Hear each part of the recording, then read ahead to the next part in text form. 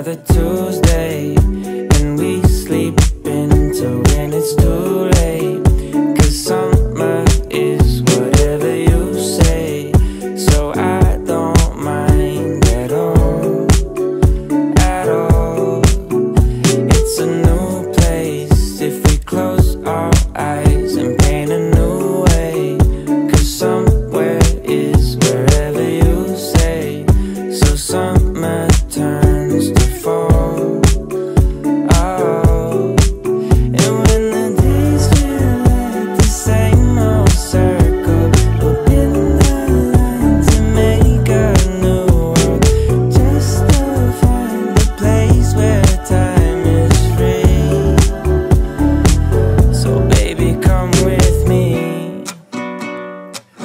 as far as eyes can see.